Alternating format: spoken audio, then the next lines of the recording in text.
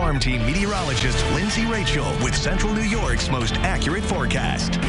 Good Saturday morning. This is a beautiful view from our tower camera in downtown Syracuse. You're looking at Onondaga Lake this morning. A little bit of cloud cover, but we've got the sunshine, and we had the sunshine yesterday too. This was a beautiful photo that was submitted to our Facebook page by Dave. Uh, you can see the sun peeking through right there. Beautiful sunset. We'll have we had a beautiful sunrise. You just saw that a couple moments ago. We'll have another beautiful sunset tonight too. So get your cameras ready.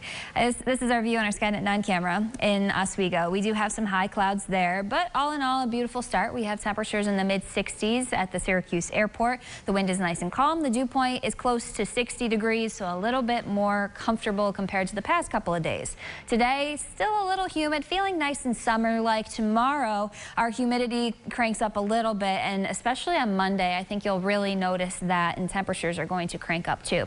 Live Doppler 9 is nice and quiet. Temperatures elsewhere are in the 60s for the most part. Take a look at Fayetteville. We're 67 there. We're 63 in Tully. Uh, Jordan 66. Oswego 67 and 63 in Central Square.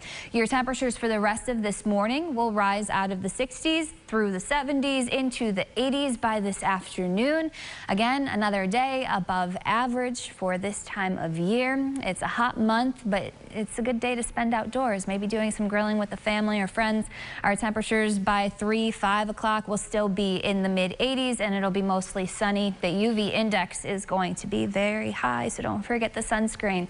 We won't have too much of a breeze, but there will be a little bit along the shoreline of Lake Ontario out of the southwest at about 5 to 10 miles per hour. So Southwick, uh, Selkirk Shores, a chop of either nothing or up to two feet the water temperature in the low 70s. Your satellite and radar shows nice and quiet for the uh, whole New England area. Northeast high pressure is building in. It'll keep us quiet through today, through tonight. Temperatures will fall back into the 60s. We're looking at lows close to 60 for Homer, maybe in the mid 60s for Fulton, Syracuse, Cazenovia, 65 for a low tonight in Pulaski with some clouds moving in.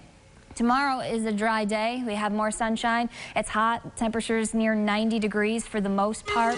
And we stay dry. We stay dry until a cold front comes a little bit closer for Monday. Monday is the next chance we have at some scattered showers and storms. It's still hot. It's still humid. That cold front doesn't come through until Monday night into Tuesday. Tuesday, a few showers linger. We have highs in the mid 80s.